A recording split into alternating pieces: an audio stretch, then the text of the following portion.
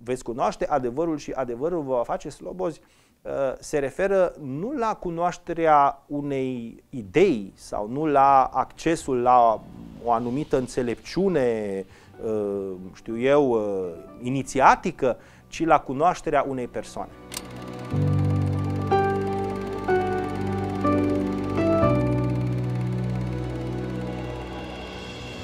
Credința creștină propovăduiește o libertate izvorâtă din adevăr, dar bazată pe iubire, pe dragoste. Și când aducem aceste două concepte împreună, dintr-un anumit unghi putem vorbi despre o libertate nelimitată, iubește și fă ce vrei, din alt unghi putem vorbi despre o libertate care se autolimitează din dragoste față de sine și față de aproape. Uh, există un, un lucru deosebit de important în creștinism și anume libertatea ca supunere față de adevăr. Supunerea aceasta nu înseamnă uh, un fel de sclavagism intelectual, nu înseamnă un fel de abnegație totală, de renunțare la propria persoană, ci înseamnă de fapt o îmbrățișare din dragoste a adevărului, care duce la o libertate înrobitoare, dar care la rândul ei eliberează. Și am să explic lucrul acesta. Uh, oamenii cred că a fi liber înseamnă să poți să faci ce vrei. Fals. Dacă am face orice vrem și am avea chiar dreptul legal să facem orice vrem, ne-am face rău nouă înșine și am putea face rău chiar aproape lui nostru. O astfel de libertate, credința creștină o numește falsă. Mai există apoi un fel de libertate de a crede ce vrei. Și libertatea aceasta se bazează pe o mascare sau falsificare, o numesc eu o fardare a realității. Uh, ne închipuim că trăim într-o anumită lume care e paralelă cu realitatea, fardând, cosmeticizând realitatea. Sigur că nu poți să mergi foarte departe și devii victima propriei intoleranțe și propriilor greșeli și te trezești că nu mai ai libertate. Da? Deci ceea ce tu numești libertate totală în sine se dovedește a fi o libertate înrobitoare. Credința creștină nu propovăduiește o astfel de libertate pe care o consideră falsă, o consideră o caricatură a adevăratei libertăți pentru că este o libertate înrobitoare, ci propovăduiește mai degrabă pe baza adevărului și a iubirii de Dumnezeu o înrobire eliberatoare.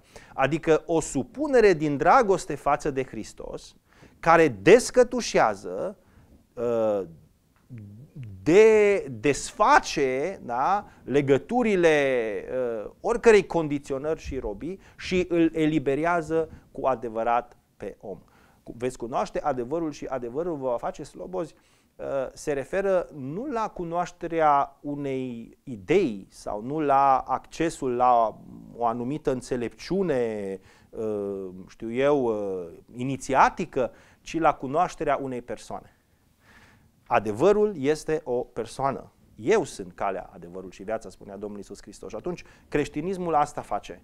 Refuză să accepte de bună așa zisa libertate care de fapt duce la robie și propovăduiește o robie, între ghilimele, din dragoste față de Hristos, care eliberează.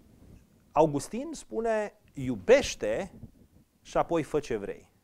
Și prin asta el subliniază exact acest principiu al libertății care se limitează pe sine din dragoste față de uh, semen, față de aproape. Haideți să luăm o altă situație contemporană sau uh, în sfârșit uzuală de viață. Uh, iubesc o femeie, da? soția mea o iubesc, am libertatea să fac în relație cu ea ce vreau eu, sigur că uh, foarte mulți ar spune, da, e, e vorba de căsătoria voastră, e vorba de soția ta, sunteți soț și soție, nu, nu există nu, ceva interzis. E, e bine, dacă eu o iubesc, nu voi face lucruri care să îi facă rău, nu-i voi face lucruri care să o rănească, pentru că atunci n-ar mai fi iubire. E, vedeți, când punem lucrurile în perspectiva iubirii, creștinismul nu înseamnă doar un fel de adevăr abstract îmbrățișat fără minte.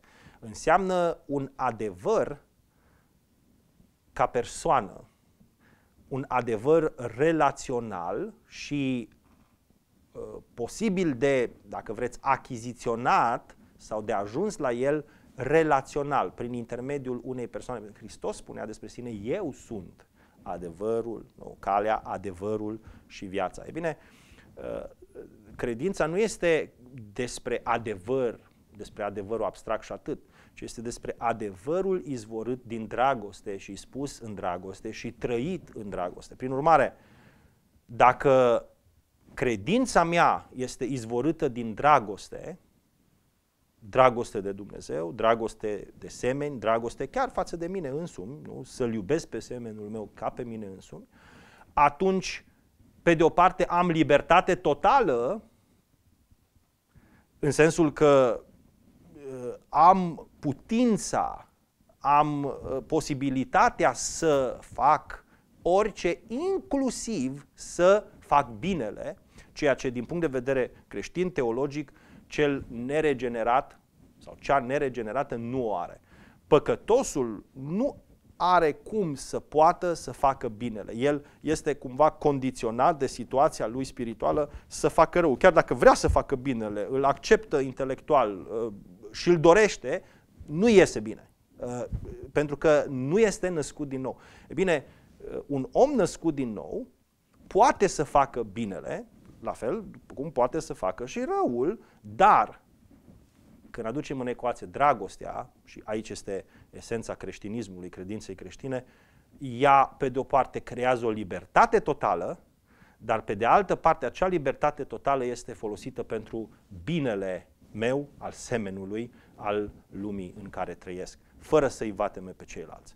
Deci, uh, uh, Nice, uh, îmi pare rău, nu are dreptate, pentru că uh, nu conceptul de interdicție predomină în creștinism, ci conceptul de dragoste. Și da, dacă iubesc, mă voi abține de la anumite lucruri din dragoste.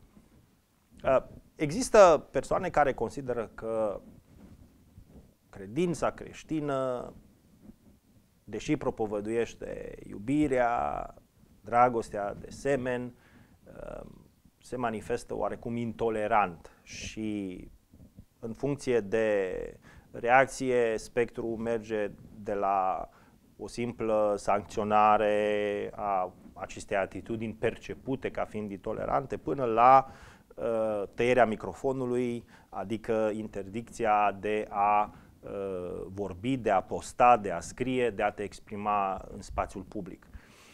Sigur că această percepție a intoleranței uh, ridică în mod foarte serios uh, problema uh, modului în care un creștin ar trebui să se comporte.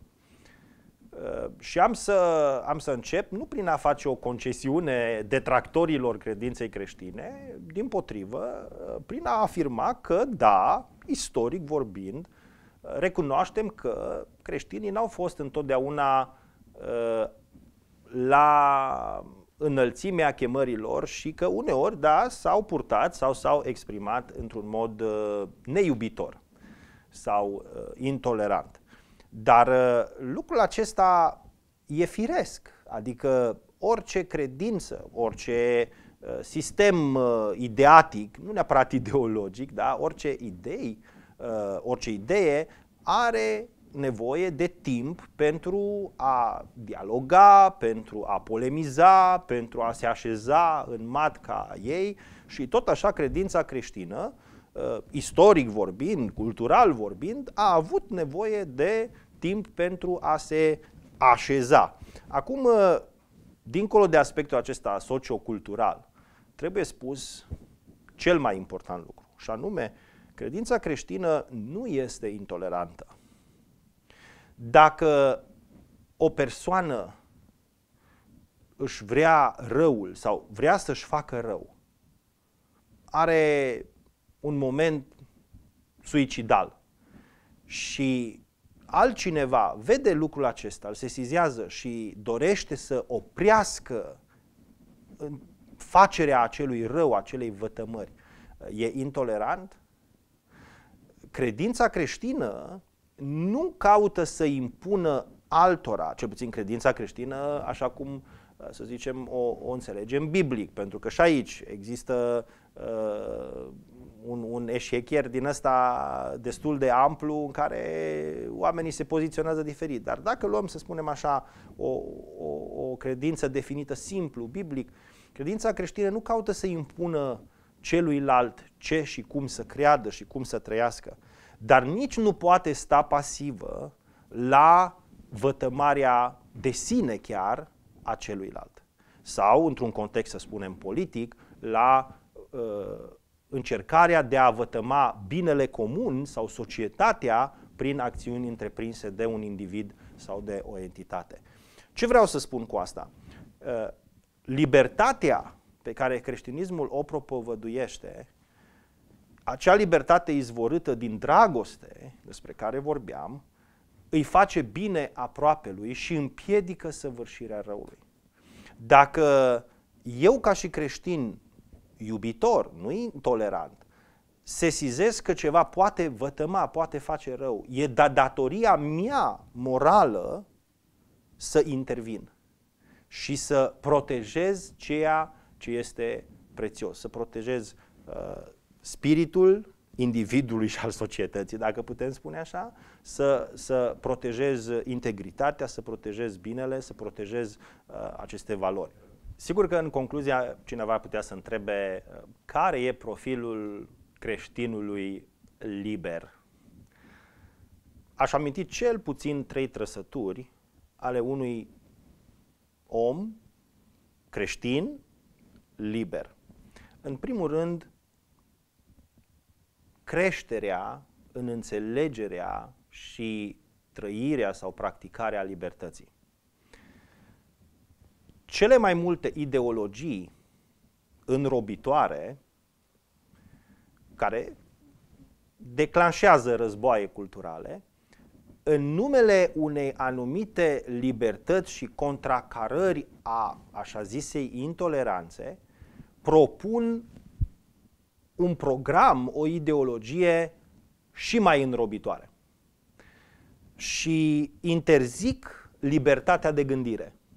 E bine, un om cu adevărat liber va fi liber să își asume o autocritică, da? o distanțare critică de propriile convingeri pe care și, și le interoghează și de asta spun, uh, are posibilitatea să crească. Libertatea se manifestă prin aceea că mă pot autointeroga, autoevalua, autocritica și am voie, am libertatea să mă schimb, să cresc, să mă dezvolt. Uh, atunci când mi se impune o matriță în care, din care n-am voie să ies, aceea nu este libertate. A doua caracteristică a unui om liber, aș spune, este respectul pentru libertatea celuilalt. Numai un om liber cu adevărat poate să respecte libertatea celuilalt. Chiar dacă, și aici este geniul creștinismului, chiar dacă o încalcă pe a lui. Aici intrăm în contradicție cu toate teoriile politice și sociale, pentru că, în general, o societate condusă pe, statul, pe baza statului de drept, rule of law, da, domnia uh, legii, presupune o libertate condiționată de neîncălcarea libertății celuilalt. Acum, eu nu propovăduiesc că e bine să trăim într-o astfel de lume în care celălalt nu are decât să ne încalce libertatea. Social, cultural, politic, nu-mi doresc asta. Dar dacă ne uităm la modelul suprem al credinței creștine, la Fiul lui Dumnezeu, la Hristos, El a fost cu adevărat liber, pentru că și atunci când libertatea celorlalți a însemnat răstignirea Lui, a respectat-o. Din dragoste și pentru că era adevărul. Uh, creștinul nu poate fi intolerant dacă își asumă modelul cristic, tocmai pentru că el este gata să respecte libertatea celuilalt până la capăt. Uh, și nu prea multe ideologii sau prea multe sisteme filozofice sau religioase se pot uh, lăuda cu asta. Uh, al treilea semn al libertății, aș spune, este uh, ascultarea. Ascultarea de Dumnezeu, care se traduce în ascultarea față de cuvântul lui Dumnezeu. Libertate nu înseamnă, din punctul acesta de vedere, să faci ce vrei, ci libertate înseamnă să poți să faci ceea ce cuvântul lui Dumnezeu îți spune. Din punctul acesta de vedere, credința creștină înseamnă libertate pentru că ea este un dar.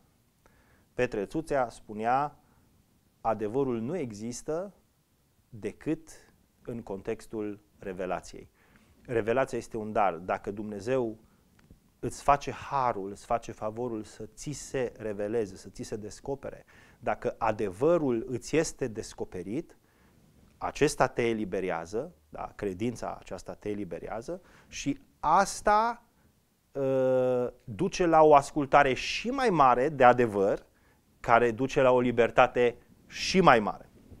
Deci, aș zice, cele trei caracteristici principale ale unui om liber este uh, autocritica conducătoare la creștere, la progres, la adevăratul progres, uh, respectul față de libertatea celuilalt, chiar și atunci când o încalcă pe a mea, ceea ce e nemai auzit în, în, în lumea sociopolitică, și trei, uh, ascultarea față de adevăr care duce la o libertate și mai mare. Cu ce altceva aș putea încheia decât spunând cuvintele fericitului Augustin, iubește și apoi fă ce vrei.